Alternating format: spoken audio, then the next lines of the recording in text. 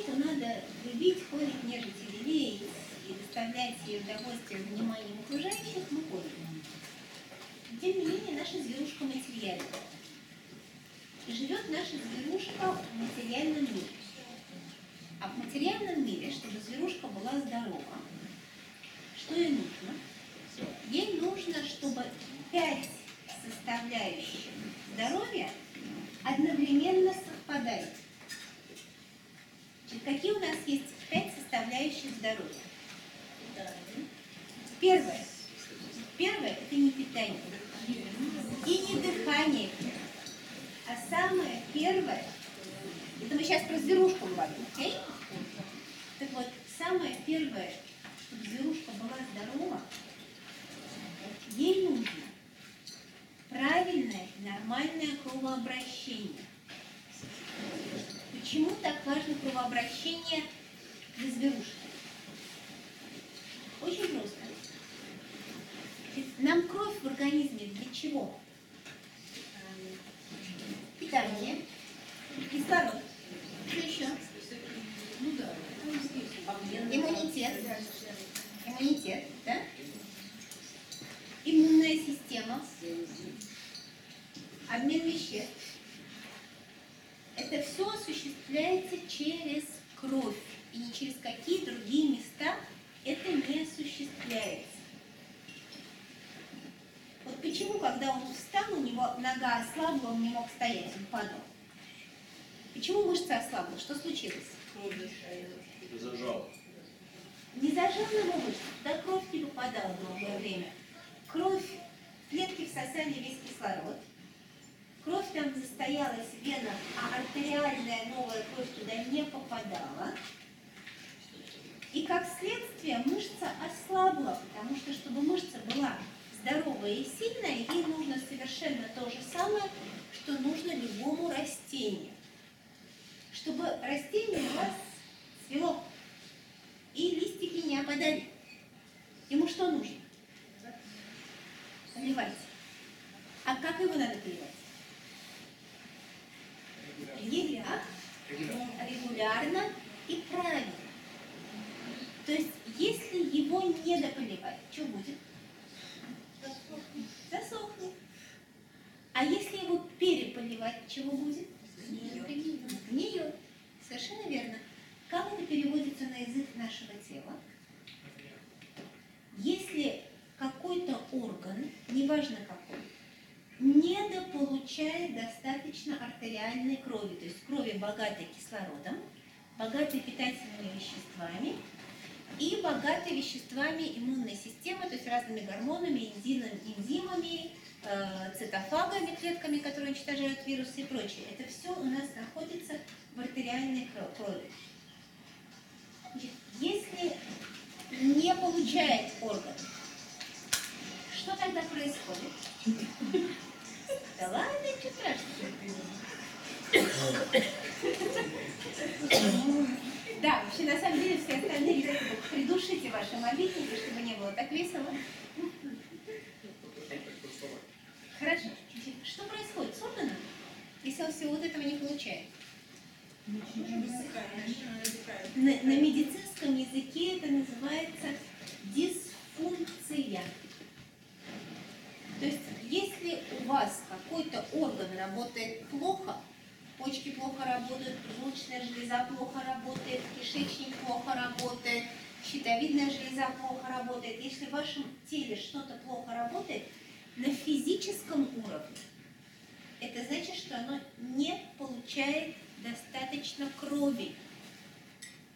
Вот гипотереозис, гипотереоз, то есть гипофункция щитовидной железы, когда щитовидная железа работает плохо, от этого человек полнеет. Это что значит? Да? Нет, это не переизбыток. Это значит, что туда кровь не попадает. Не попадает. Она, железа плохо работает, она уменьшается, сохнет, чахнет, дохнет. Не гипертереоз, когда у вас зуб вырастает, глаза на лоб лезут. А гипотереоз, когда у вас вот тут все вырастает, и сил ни на что нет. Железа не работает, топлива нет, кровь туда не течет. Элементарно. Окей? чем будем разбираться. Вот, ну как для этого сейчас все и собрались. Как здорово, что все мы здесь сегодня собрались. Так, а если кровь туда течет, а обратно не оттекает и там застаивается? Есть растение начинает гнить, если его слишком много выливать. А что происходит с органом в теле? Отек и воспаление. Отек всегда сопровождает воспалительные процессы. То есть воспалительные процессы – это процессы застоя крови. Поэтому самое главное для нашей зверушки, пока она живет в физическом мире по законам физического мира, я сейчас не говорю там про великих просветленных, там, типа моего учителя, который сидел 6 лет в медитации без движения. Это отдельная история. Это тело пребывает в совершенно другом состоянии. Но пока оно живет по законам этого физического мира, вот этой матрицы, ему надо кровообращение. Без кровообращения ему будет никак. А от чего зависит нормальное кровообращение? В первую очередь. От состояния сосудов. Нет. Состояние сосудов зависит от состояния того, в чем сосуды проходят. А сосуды у нас где проходят? В мышцах, правильно? Сделайте так. Это сосуд. Сделайте так. Это нерв.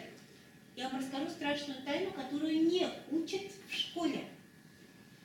Всегда сосуды идут параллельно нерву, вернее, нервы параллельно сосудам. Нерв всегда сопровождает сосуд, он должен там быть. Когда вам в школе рисуют два отдельных рисунка, отдельно нервная система, отдельно кровеносная система, ладно, бог с ним, и так мы помним все эти картинки, Значит, когда так рисуют, у нас в голове что происходит? Разделение труда. Делаем так. Это нерв, это сосуд.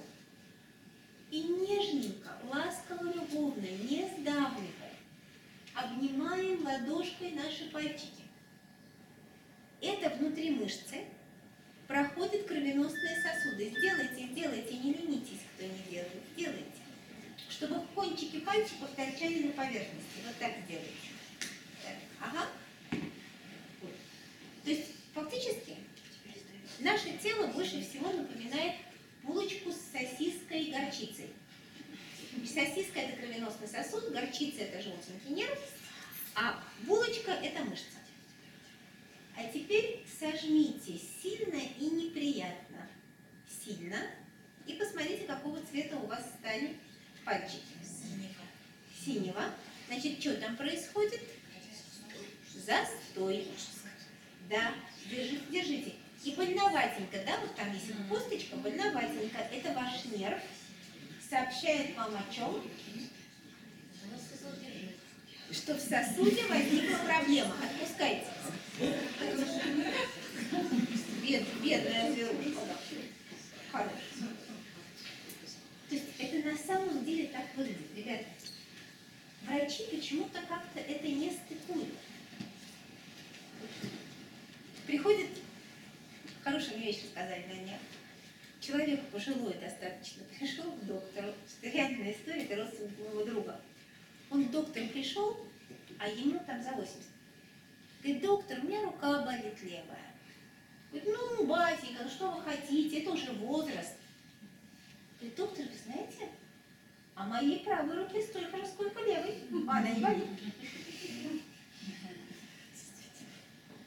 То есть как-то вот этот момент, он у современной медицины в головах не стыкуется. То есть что кровообращение первично для здоровья, физического здоровья тела, об этом как-то все забыли. Знаете почему? Ведь вспомните вот в прошлые века, как кровь пускали, да, значит, лучшим врачом был цирюльник, кровь пускал. И даже у медицины вот этот знак чаши змея, оно знаете, из чего трансформировалось? Оно трансформировалось из дракона, кусающего себя за хвост, знака алхимиков. А один из символов дракона, из значений символа дракона, кусающего себя за хвост, Это замкнутая система кровообращения в теле человека. Это что, удивительно? Вообще, как это работает?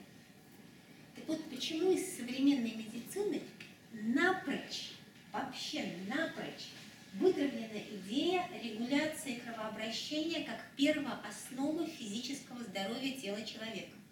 Знаете почему? Ну. Невыгодно. Почему невыгодно? Таблетки-то надо продавать. А таблетки на что действуют? Систему. Правильно, на нервы, правильно. Химические препараты, они действуют на нервы, а не на сосуды. И не на кровь, они действуют на нервы.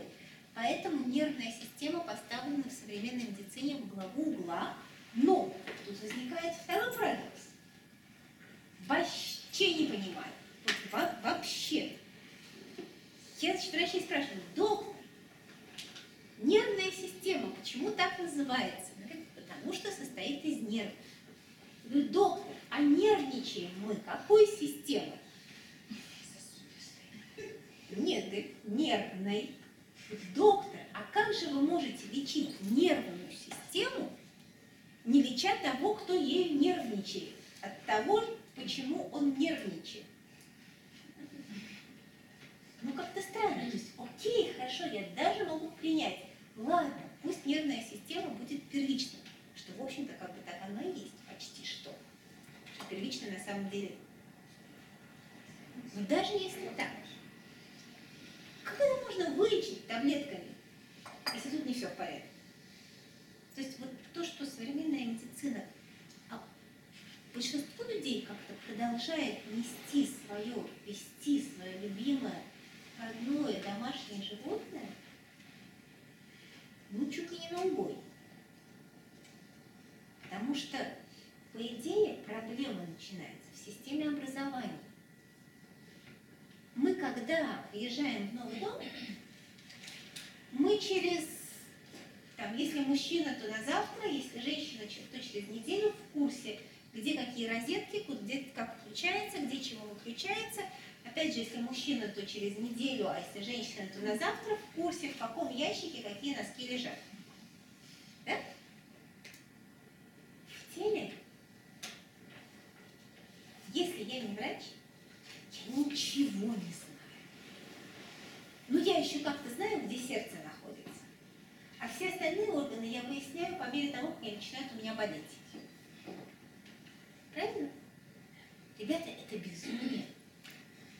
Не думать о том, как мы ходим, как мы стоим, как мы лежим, как мы спим, как мы дышим.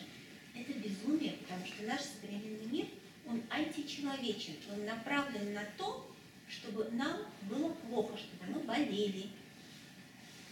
И вот наша система кровообращения начинает страдать у большинства людей просто от того, что мы ходим неправильно. Что такое ходим неправильно? Сейчас мы с вами произведем научный эксперимент. Не скакивайте сначала, послушайте меня. Я сейчас попрошу, чтобы все те из вас, кому в детстве говорили, что он сутулится и что надо выпрямиться, или кому не говорили, но он сам знал, что он сутулится, надо выпрямиться, вот чтобы вы все стали здесь в шахматном порядке, а все те, которому этого не говорили и по спине не шлепали, чтобы стали здесь в шахматном же порядке. Давайте исполним.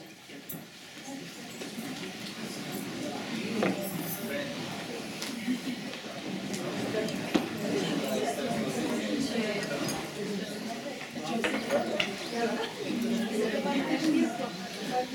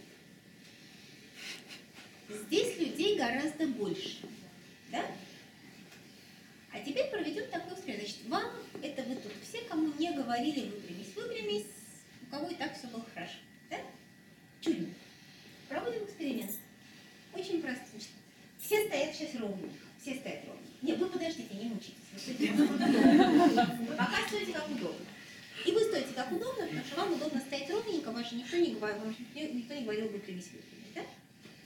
Ані стоять ровно?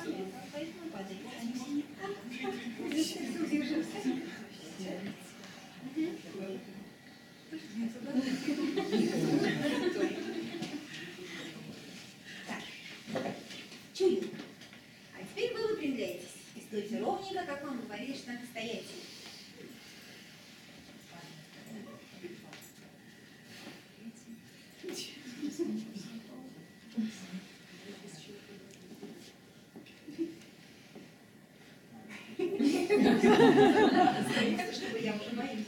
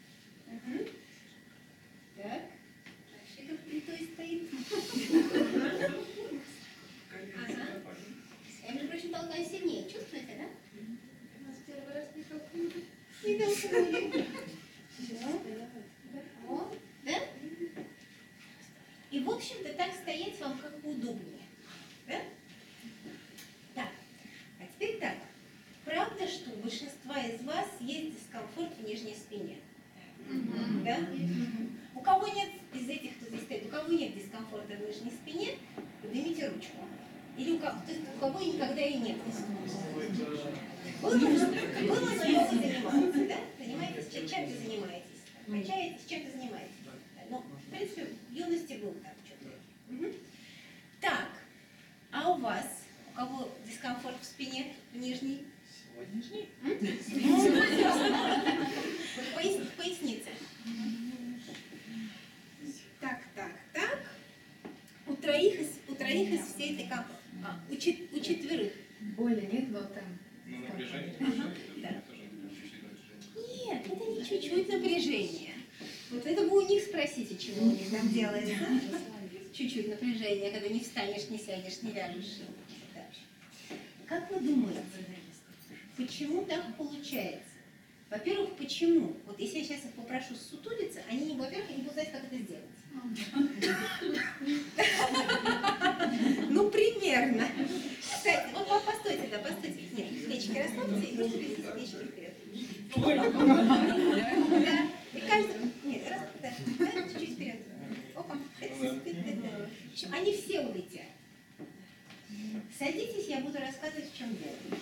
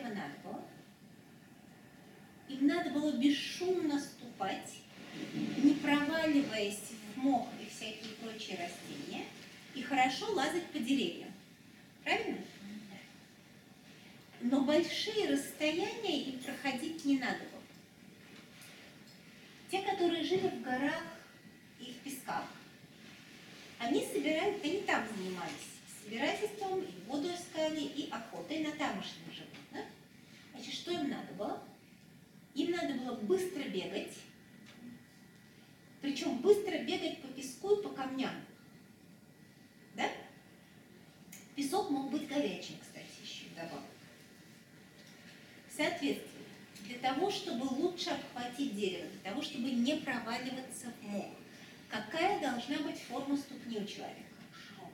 Широкая и плоская. Слон ходит по болотам. Для того, чтобы быстро бегать, высоко прыгать, ходить удобно по камням, какая должна быть форма ступни у человека? Вот, вот как вот такая. Вот такая. С высоким подъемом, чтобы было как оттолкнуться. Значит, соответственно, в зависимости от ареала обитания, естественно, лучше выживали те особи, те зверушки, которые были лучше приспособлены. А приспособлены, соответственно, были люди с плоской стопой для леса, люди с, высоким подъемом для гор и песков. Чего в природе не существует? Какого типа поверхности в природе, кроме ледников, нигде не существует? Ровной поверхности нигде не существует, совершенно верно. Ровная поверхность, она искусственная. Она искусственно сделана человеком. Значит, соответственно, и к тому же появилась она вообще совсем недавно. Последние, ну сколько там, сто лет, как машины сделали, так везде сразу стало ровно. И Брусчатка везде исчезла. И когда появилась пластмасса, подошва обуви тоже стала не гибкая и кожаная, а такая вот резиновая, ну, толстая, ровная. Поэтому, естественно, что очень много людей, большинство, как мы видели, практически 70%, людей, у которых либо плоская стопа, либо завышенный свод стопы. А в довершение к тому, у людей, которые рождались в последние 200 лет в Европе, ну или в роддомах в Азии, у них еще очень часто разная длина ног. Потому что из-за неправильных родов, неправильные роды – это роды на спине или на боку. Ребята, давайте подумаем логически. Матка – это мешок. Да? Что такое мешок? Что такое?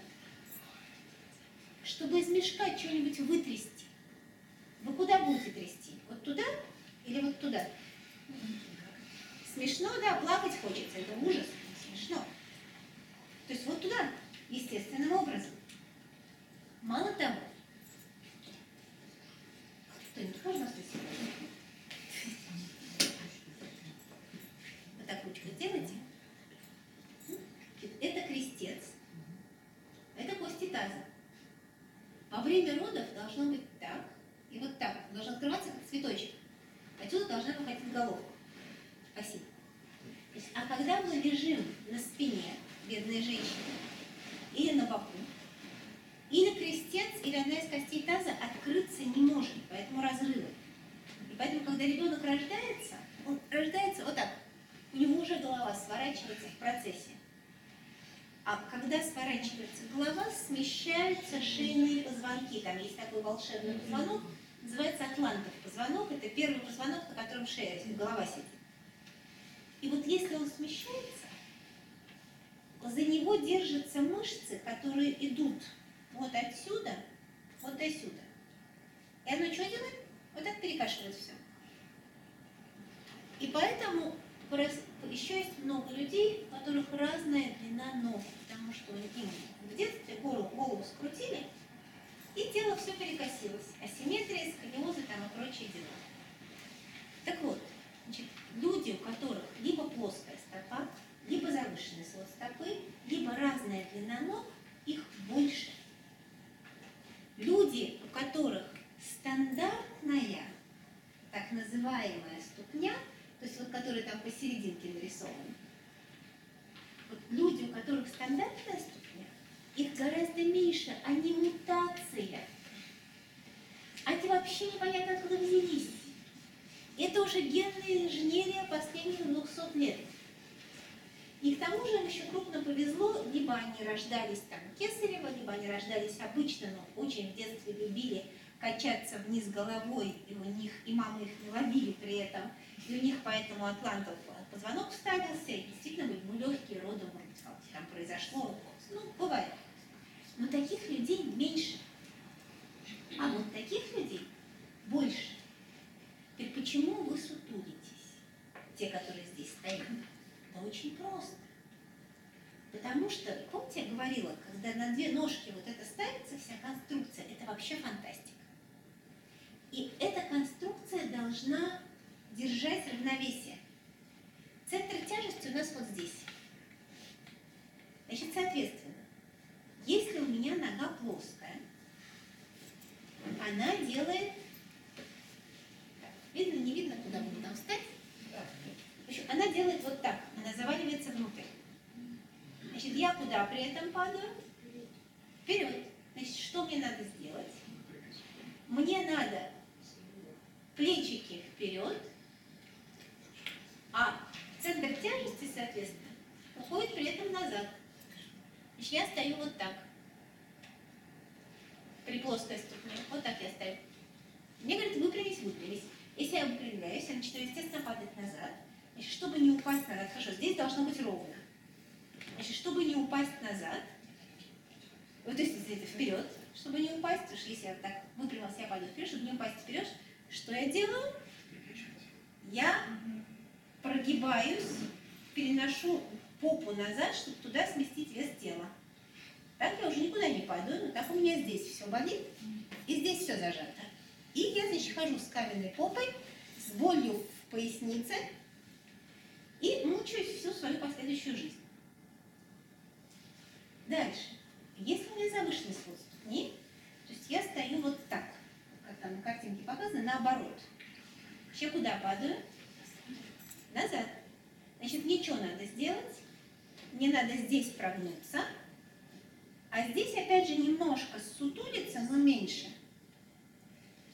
Тогда у меня опять же все уравновешено. Мне говорят, убери попу, расправь плечи. Я расправляю плечи, поджимаю попу, начинаю, естественно, падать назад. Чтобы не упасть назад, я что делаю? Я опять прогибаю попу. Теперь я никуда не падаю, если я сильно ее прогибаю. Но долго сильно я ее прогибать не могу, потому что у меня опять же начинает болеть все. Теперь у нас есть еще один главный враг, полного пола. И этот страшный враг называется стул. Значит, почему стул? Вот смотрите. В нашем теле, помимо атлантового позвонка, который свихивается при рождении, есть еще один очень чувствительный элемент, который там остался. Ой, что я делаю? Который там остался. Как.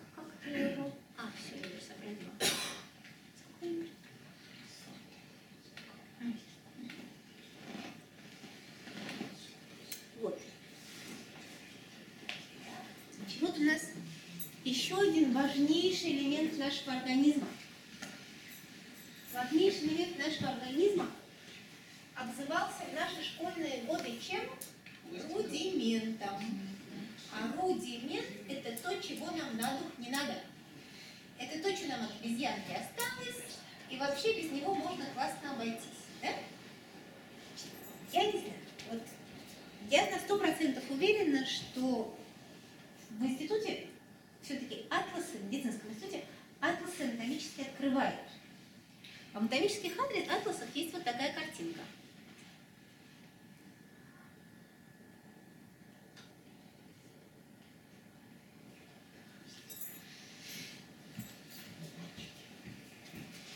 Ребята, познакомьтесь, это копчик, рудимент. Вот это он, вот он тут. Он буквально запеленут в связки. Что делают связки? Связки связывают кости и мышцы. А теперь давайте представим себе, вот это вот немножко похоже на палатку, если перевернуть, да, то вот копчик будет таким острием, и на него как бы надет весь вот этот вот каркас связок. Если у вас есть палатка, и у нее есть центральный столбик, на который все это крепится, что будет, если мы сделаем так? С этим центральным столбиком? Да? И все перекашивается. Так что как можно обозвать наш амортизатор, который отвечает за гибкость нашей спины, и от которого, поглядите, как все классно устроено, и от которого эта самая связка идет вот отсюда и аж до самой макушки. И к ней крепятся все мышцы, она соединяет все позвонки. И вот как можно вот это обозвать рудиментом и сказать, что нам это вообще надо не нужно, я не понимаю. Кстати, рассказываю, все те, у кого ишес, воспаление седалищного нерва, болит нога, и вам рассказывают, что это из-за проблем со спиной, не верьте им, потому что в спине у вас не болит. У вас болит вот здесь. И вот отсюда дальше по ноге. Если бы у вас болело в спине, то есть если бы проблема была в спине, то есть если бы нерв зажимался в спине, там, где вам врачи говорят, что он зажимается, то у вас бы там бы и болело. Ну, логично, если я прищемлю палец дверью, у меня будет болеть аж до уха. Но оно начнет болеть вот отсюда. Да? То есть если мой седалищный нерв ущемляется, если мой седалищный нерв ущемляется вот здесь, как это говорится, значит, L4, L5, да? то болеть оно должно вот отсюда. А оно болит вот отсюда, из попы по ноге. Почему? Да потому что не имеет отношения проблема в позвоночнике к проблеме седалищного нерва. Седалищный нерв болит, потому что у вас из-за долгого сидения в школе, из-за травмы при падении с какой-нибудь горки, из-за долгой езды в машине, еще бог весть из-за чего, копчик сместился, а обратно сам не встал. Я вам сейчас расскажу, как он, по идее, должен сам на место становиться, потому что природа умная. Она ничего необратимого не делает. Но у вас он на место не встал. Он вот эту всю конструкцию потянул. А эта конструкция, это вот это место, которое у вас как раз и напрягается, когда вы со своей ступней, либо плоской, либо, а, либо завышенным слогом, стоите вот так и вот так поджимаете пол. То есть тут и так все напряжено. Плюс копчик загнулся, вот это потянул, еще больше все зажал. В сделали одно неловкое движение, эти мышцы спазмировались, то есть, то есть перестали быть гибкими. Что такое мышечный спазм? Мышцы делают и так вот остается. И она, этот самый нерв так, и так и осталось. И у вас все заболело. Поэтому операция на спине, когда вот здесь чего-то нам чистят, лечат, уже сами врачи знают, что результат они никаких не приносят. Они приносят результат только если действительно было выбухание диска внутрь позвоночника. Но тогда и болит вот здесь, как будто кинжал вставили. А если болит вот это, не надо резать спину, надо совсем другую проблему решать. Так вот, когда мы сидим на стуле, а еще круче, когда мы сидим в машине, мы сидим на нашем любимом хвостике, который все время загибается. И что же нам теперь спрашивается со всем этим делать? Голова у нас свернутая, хвостик у нас загнутый, позвоночник у нас перекореженный, ноги у нас разные, и вообще все плохо. И как этому бедному животному жить вот в этой неестественной среде, совершенно непонятно. Рассказываю. Пункт номер раз. Начинаем с ног. Вы же все в обуви ходите, правильно? А обувь ваша сделана под стандартную ступню, то есть не под вашу. Под мою еще туда-сюда. Но не под вашу. Мне повезло, я тоже мутация. Значит, внутри каждой обуви есть такая штучка, называется стелька. В некоторую обувь она вклеена, в некоторую обувь можно, она, ее можно вытащить оттуда. Эти самые стельки, они там внутри лежат, чтобы было мягче, чтобы ходить как бы было удобно. Так вот, я вам расскажу фантастическую вещь. Если сделать эту самую стельку под вашу ступню, то есть вот так,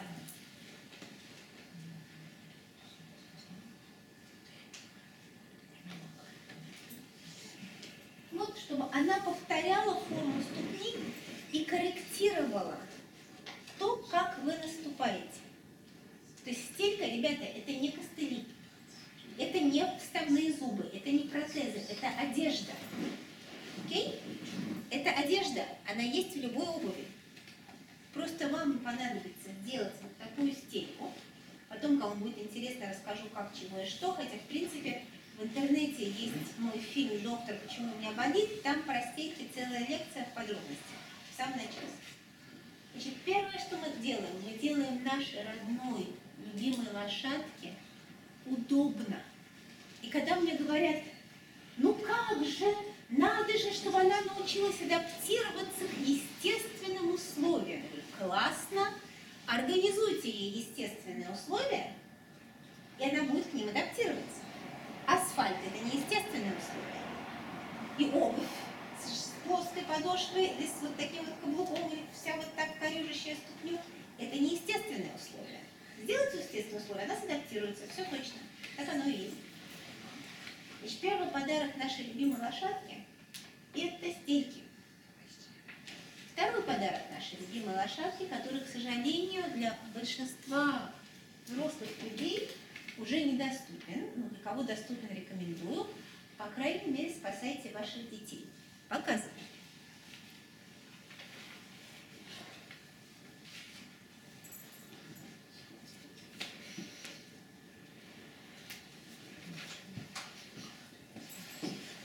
Вот самый лучший подарок, который вы можете сделать вашей нижней спине, вашему то есть пояснице, вашему копчику, вашим коленям и вашим, э, как это называется по-русски, э, бла-бла-бла, э, корсулаем, вот это как называется по-русски? Не просто сустав, а голеностоп. Да, щепот, да. Да, голеностопный сустав, правильно называется, корсулаем. Голеностопный сустав. Вот, значит, вот это лучший подарок, который вы можете сделать вашему организму. Почему? Что природа умная.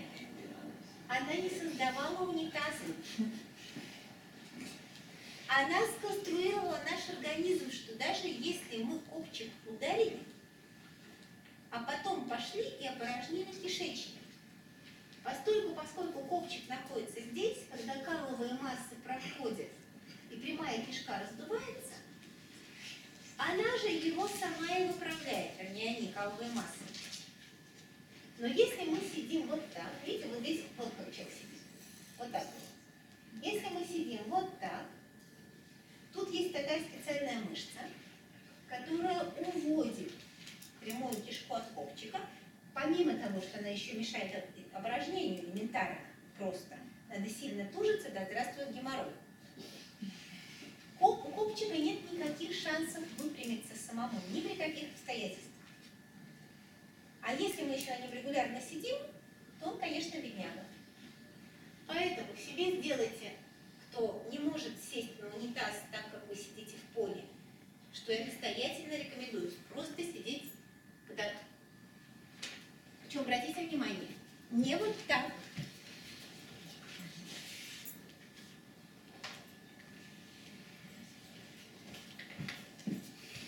Не вот так. Слишком больно. Это называется сидеть орлом. Это не поможет. Видите, у него все равно ноги ровные. Все равно тот же самый эффект. А вот так. Вот так, как все детки сидят. Вот, вот поэкспериментируйте для, для собственного удовольствия. Кто? До, до 90% из вас будут назад падать, потому что с детства не приучись. Покажите мне хотя бы одного ребенка, который на корточках сидит и падает назад. Нету таких ни одного. А потом все становится плохо. Я вам расскажу, почему все становится плохо. Потому что если у вас нестандартная форма ступни, так называемая, у вас в этих самых лучезапястных голеностопных суставах, спасибо, у вас в этих самых голеностопных суставах мышцы просто заиндивидуальны. Они там все бедные в постоянном напряге. То есть вот элементарно так покрутить ножкой вы уже не можете. И поэтому, когда вы садитесь, просто вот так сильно согнуть так. Вы не можете, не говоря уже про коленки, тазобедренные суставы. Поэтому, сейчас, секунду. Поэтому себе можете подарить для облегчения процесса опорожнения кишечника вашей любимой лошадки, себе можете подарить вот такую штучку. А детей ваших всех приучаете сидеть верхом на унитазе. Прямо с ногами. Ничего с ним не сделается с этим унитазом.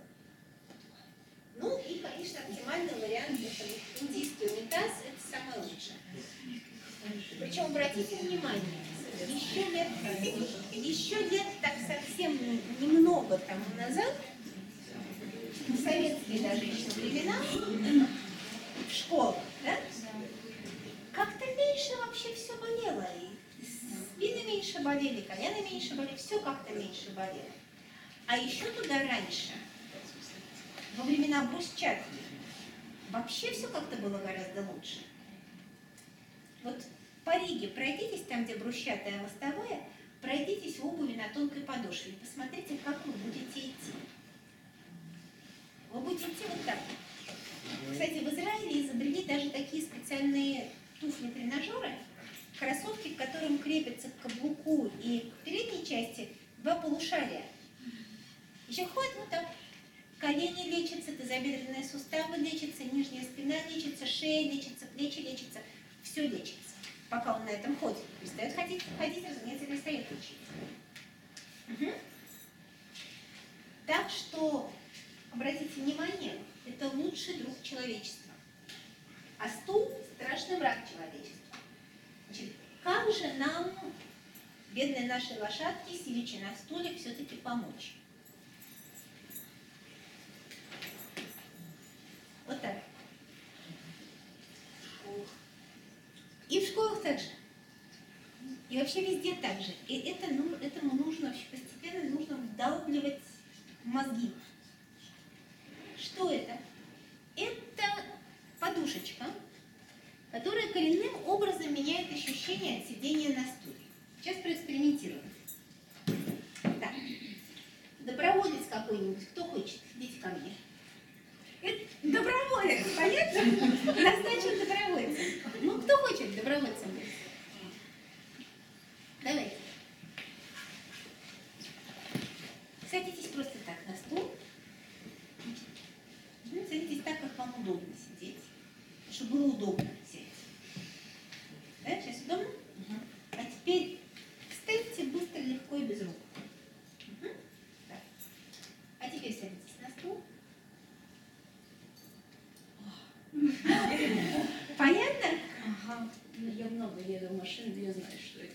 Thank you.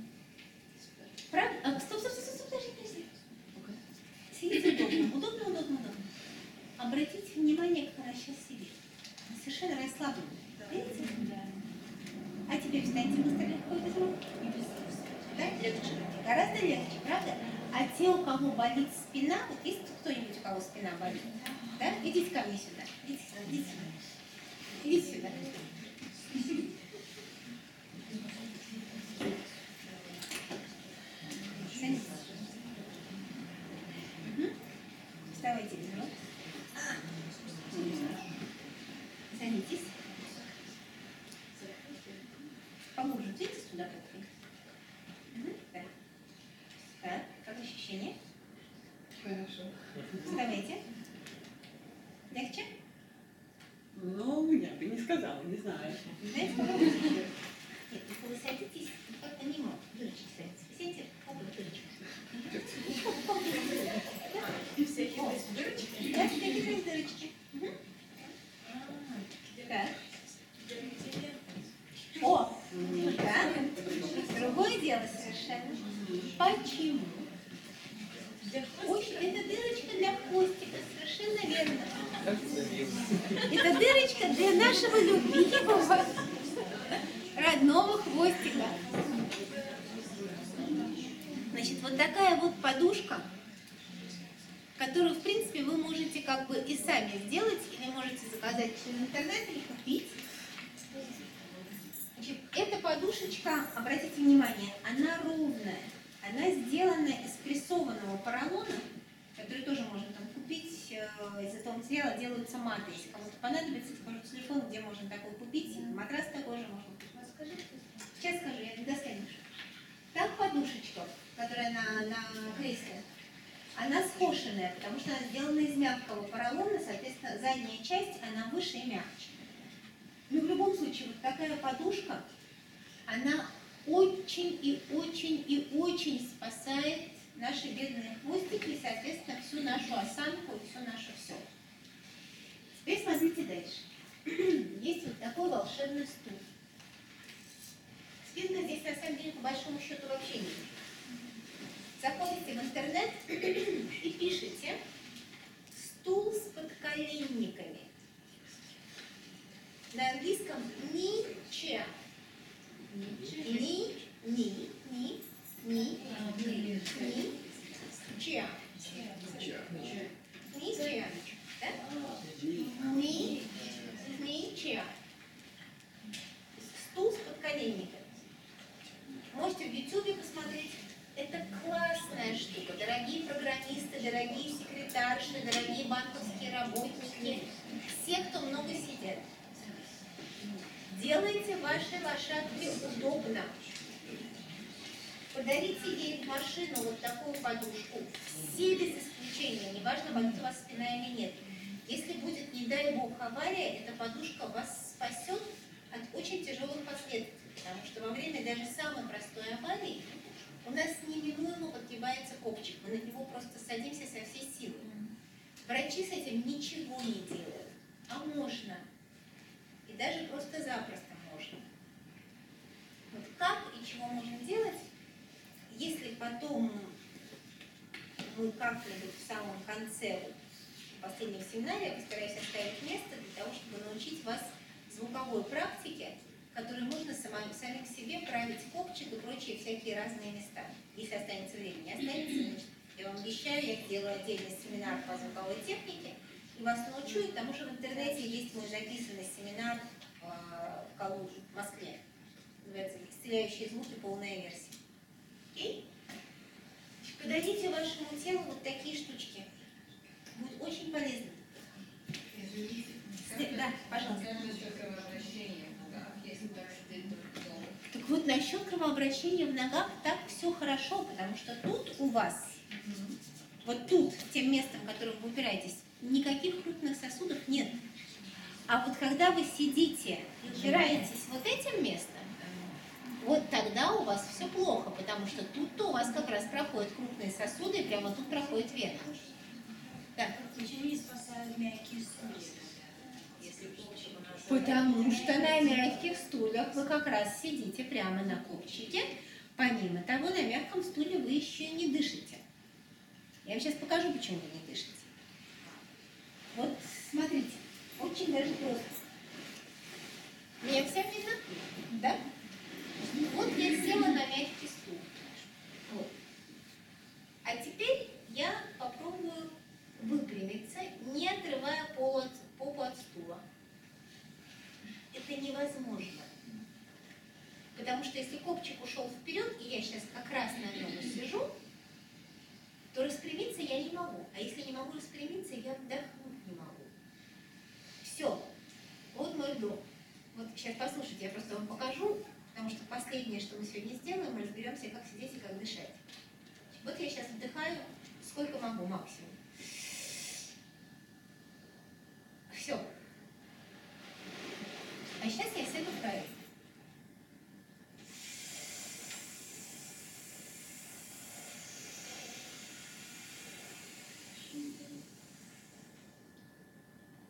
Есть разница? Да? Примерно в три раза. Окей. Значит, следующий подарок, который мы можем дать нашему любимому организму, сейчас покажу.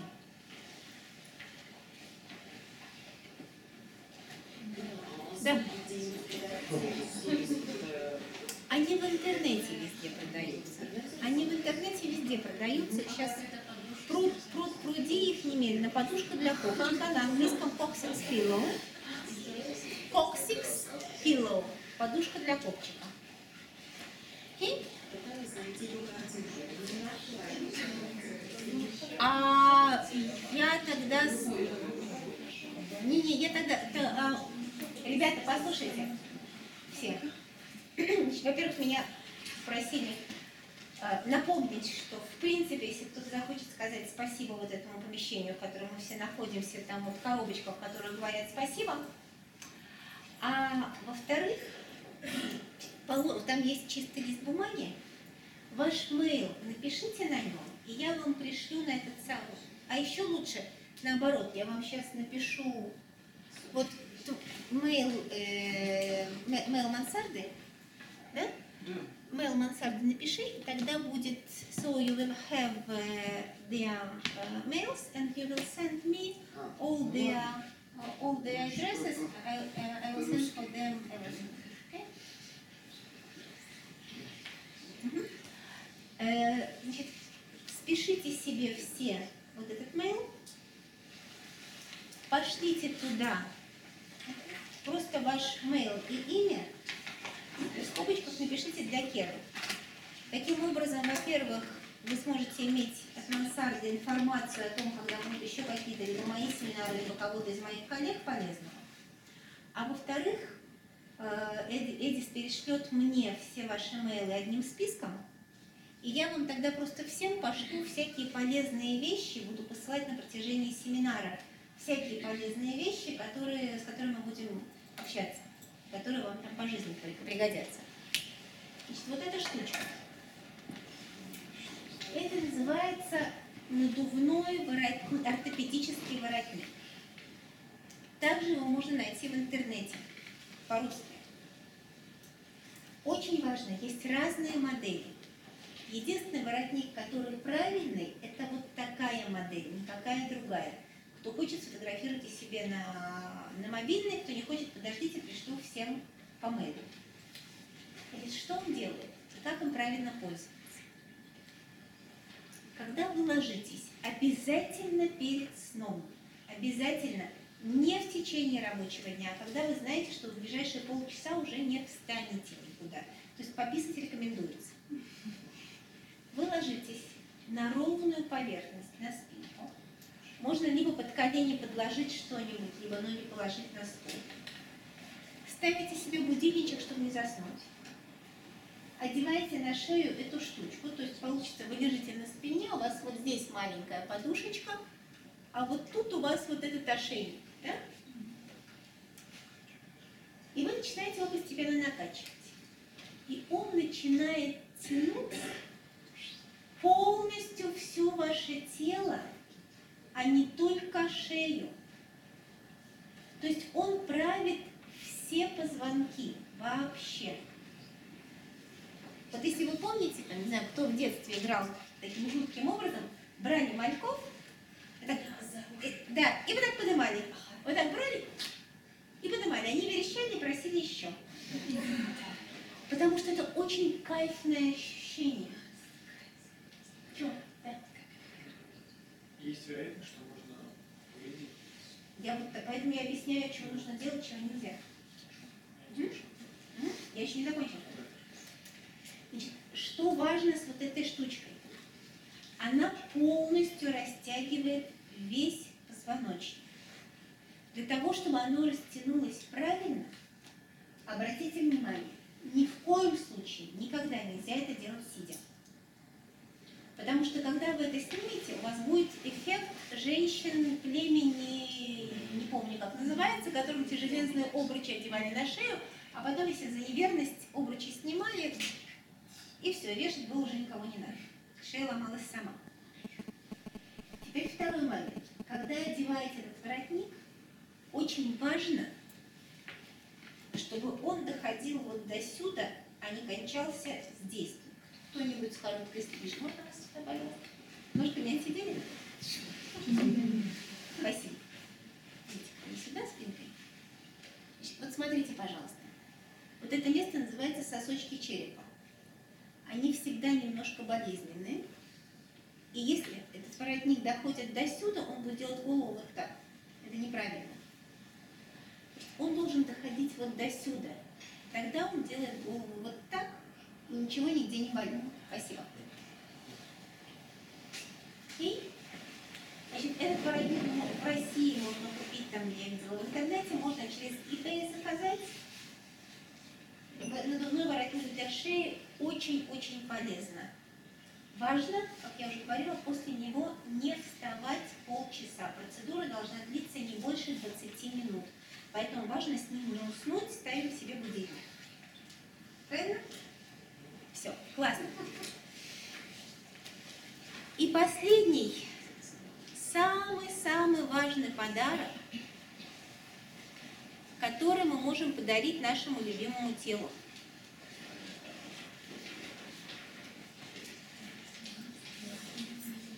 У кого из них будет болеть спинка по утру? У верхнего или у нижнего? Ниже. Кто сказал у верхнего? Нет, кто сказал у верхнего? А почему у верхнего? Нет, вы же почему-то сказали у верхнего. Почему у верхнего? Молчание было и ответом. У нижнего, конечно, потому что нормальная, правильная форма позвоночника – это вот такая форма.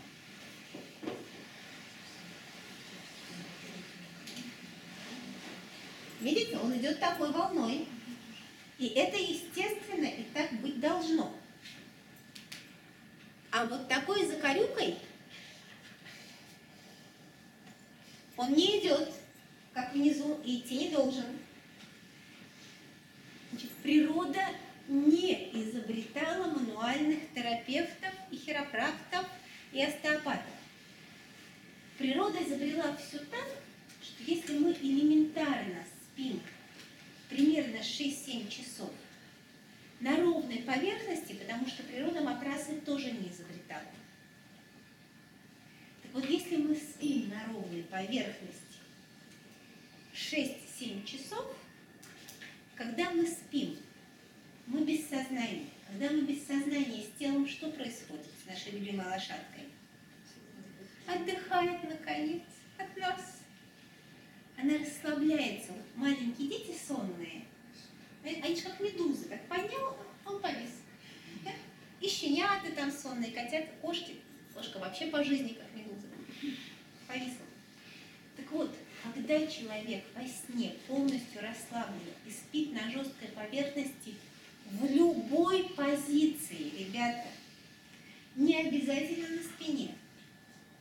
Тот же самый эффект сохраняется, если вы лежите на боку, тот же самый эффект сохраняется, если вы лежите на животе. Это не важно. Ну, сейчас здесь у меня нет массажной кровати, так я обычно демонстрирую. Я ложусь там, предположим, на живот или на бок и прошу кого-то пройтись по моему позвоночнику пальчиком. Тот же самый эффект. Все равно позвоночник остается ровным. А вот если мы спим на мягком, мы вынуждены подложить подушку, потому что в мягкое проваливается голова, и мы получаемся вот так. Если мы кладем подушку, мы получаемся вот так. Попробуйте вот так постоять хотя бы часик. Что с вами будет? Плохо с вами будет. Значит, соответственно, позвоночник за ночь не, выправ- не выправится, на место не встанет.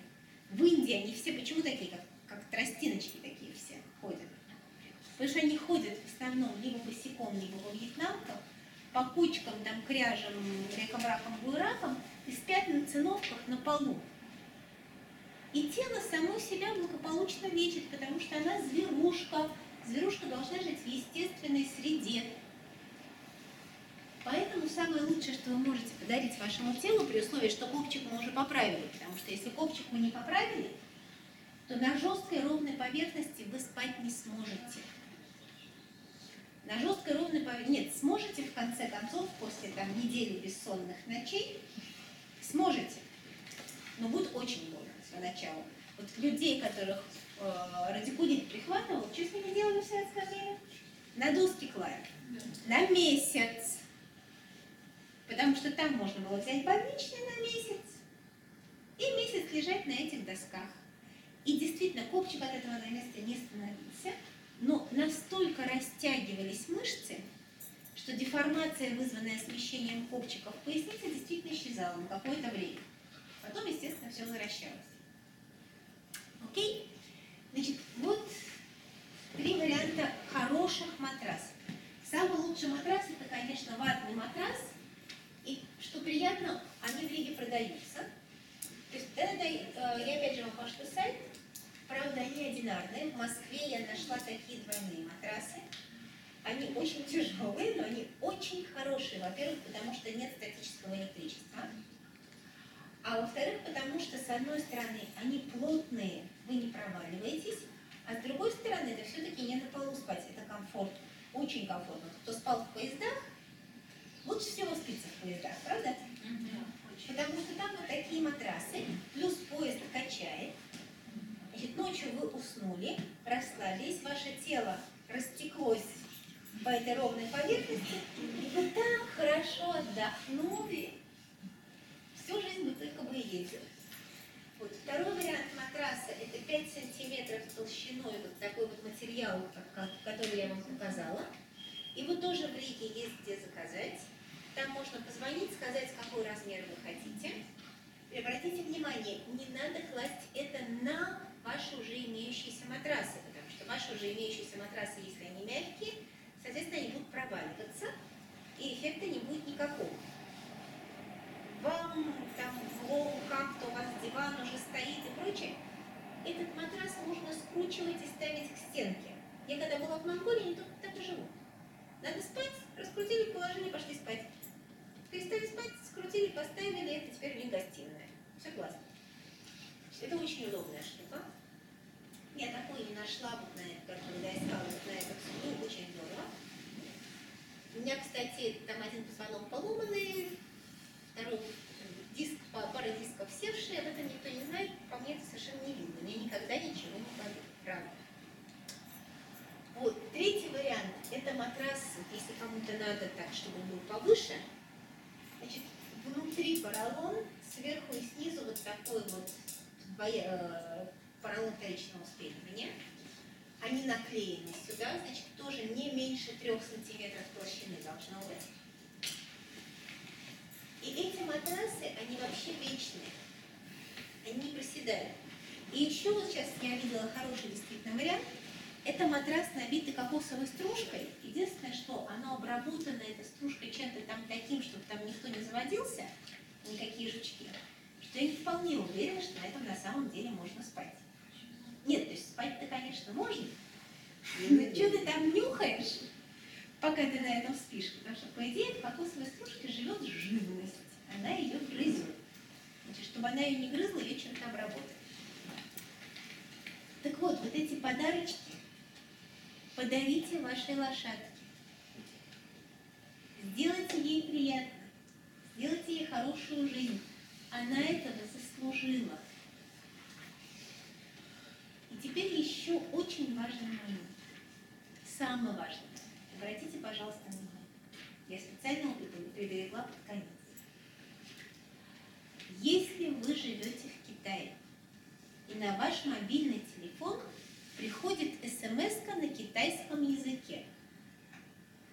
У вас есть несколько, а вы при этом на машине едете. У вас есть несколько вариантов поведения. Значит, вы живете в Китае, вы не китаец, вы китайского языка не знаете. Вы приехали в гости, пожить на месяц. Китайского вы не знаете. Пришла смс на китайском языке, а вы машину ведете. Значит, у вас есть несколько вариантов поведения. Первое. Стереть ее нафиг и продолжать ехать. Второе. Остановиться, попытаться перевести. Если не получается, значит, про кого-нибудь спросить. Да? Третье. Выучить китайский и спокойно с этим как-то общаться. Предположим, мы ее стерли. А нам, оказывается, написали, что там впереди ведутся ремонтные работы за поворотом. И мы благополучно влетели вот в эти самые ремонтные работы, у нас авария. Кого-то попросили прочитать. А поди знаем, китайский знает или не знает? А может, он знает не очень, а там миллион значений, а он что-то не понял. И мы зависим от воли другого человека. Поэтому, конечно, учить китайский – это оптимальный вариант, если ты решил в Китае поселиться. Наше тело – это такой мобильник, при помощи которого Вселенная разговаривает со мной. Ни одна болячка никогда не случается случайно, вдруг, неожиданно и сама по себе. Любая болячка – это информация о том, что либо вы что-то делаете неправильно и надо перестать это делать, либо вы чего-то не делаете, а должны сделать. Либо для того, чтобы вас куда-то подтолкнуть и перенаправить. То есть все болячки случаются либо для того, чтобы, либо потому что. Будьте здоровы. Поэтому самый важный момент. Тело вам дано для того, чтобы ваша связь с высшим разумом Вселенной не прерывалась. То есть это мобильник, на который вам Вселенная, Высший разум, Господь Бог, называйте как хотите, посылает информацию о том, что на самом деле с вами, который в этом теле живет, происходит. Я не буду сейчас расшифровывать подробно, какой орган из-за чего болит.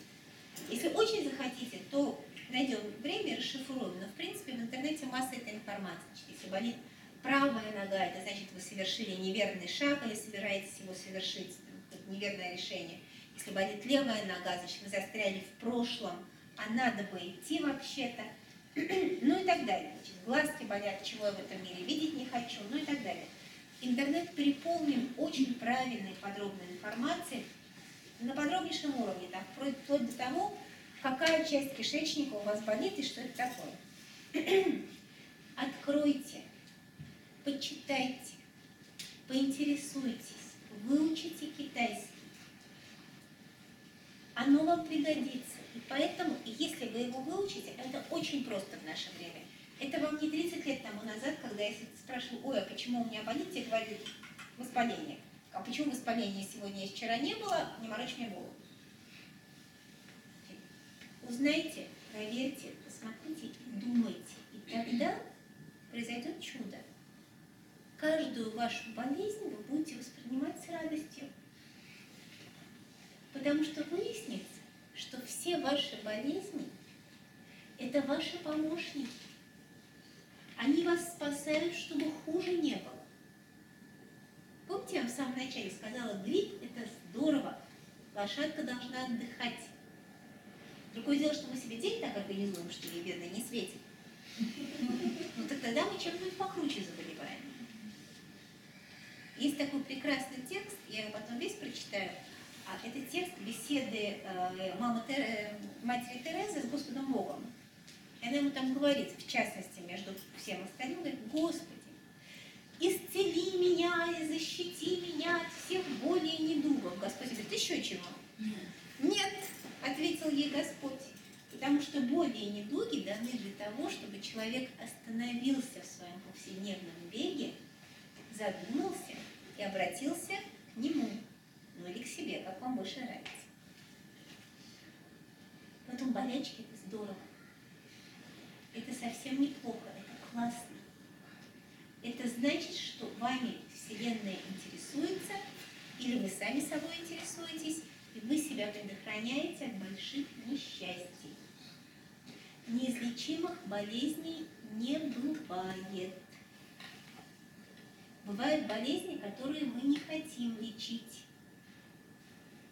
что вполне легитимно. Любой человек имеет право позволить своей уже отжившей лошадке умереть. Это нормально. Он-то все равно никуда не денется, он же живой во веки веков. А лошадка, ну да, все, листики с деревьев тоже когда-нибудь выпадают.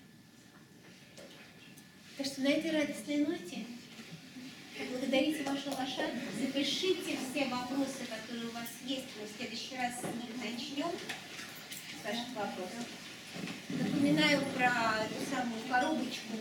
Просили ее поставить адекватное место, адекватное место. Аренда этого помещения тоже каких-то денежек стоит. Все.